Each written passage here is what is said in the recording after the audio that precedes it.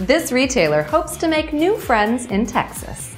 United Supermarkets has finalized arrangements for the construction of a new Amigos store location in Hereford, Texas.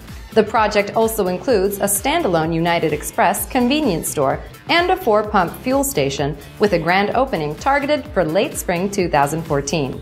Amigos store locations can be found in Plainview, Lubbock, and Amarillo and are distinguished by their array of traditional Hispanic products and flavors. The entire development is being supported by the Hereford Economic Development Corporation, which will provide economic assistance related to the construction of the project. Tony Crumpton, Executive Vice President of Facility, Fuel, and Supply for United Supermarkets, stated, We look forward to being a part of the Hereford community very soon.